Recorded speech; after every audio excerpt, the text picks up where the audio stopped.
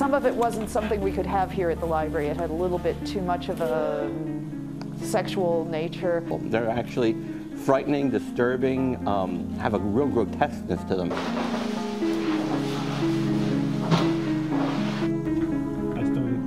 Well, I started being in paper cutter after um, doing illustrations on the op-ed page for many years, and a prevalent subject on the um, op-ed page is the struggle for power, the paradigm of power.